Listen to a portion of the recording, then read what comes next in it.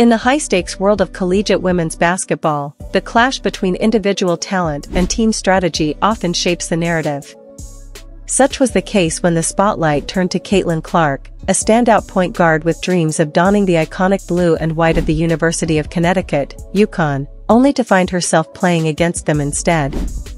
In a recent revelation that sparked intrigue across the basketball community, it was unveiled that Clark, hailed as the premier player in women's college basketball, had harbored aspirations of joining the illustrious ranks of UConn Huskies. A dreamy scenario, seemingly destined for headlines and highlight reels, was painted, one where Clark's prodigious skills melded seamlessly with UConn's storied legacy under the watchful eye of legendary head coach Geno Auriemma. However, as the tale unfolded, it became apparent that the envisioned union never materialized.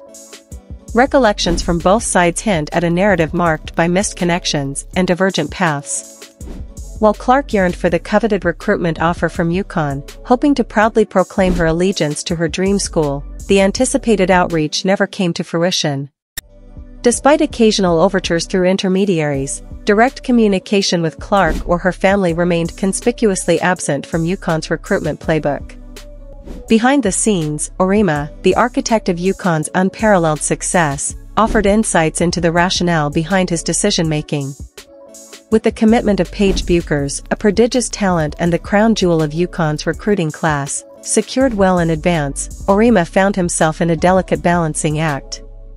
Opting for strategic prudence, he refrained from pursuing additional top-tier point guards like Clark, wary of the potential complexities arising from managing a surplus of talent at the position. In a candid reflection, Auriemma elucidated his stance, asserting that had Clark harbored a genuine desire to join UConn's ranks, the onus rested squarely on her to initiate dialogue and express her intentions unequivocally.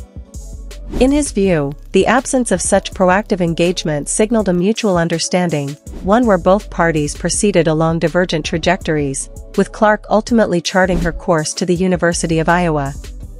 The hypothetical allure of a Clark Bueckers tandem on the court at UConn undoubtedly captivated imaginations, tantalizing fans with visions of unparalleled dominance. Yet, in the realm of reality, Auriemma remained steadfast in his conviction that the decisions made were grounded in the best interests of the program. As Clark Star continues to ascend at Iowa, her journey serves as a testament to the resilience and fortitude of an athlete undeterred by the road less traveled. In the annals of women's basketball lore, the saga of Clark's almost tryst with UConn serves as a poignant reminder of the intricate dance between ambition and pragmatism, where dreams intersect with strategic imperatives on the path to greatness.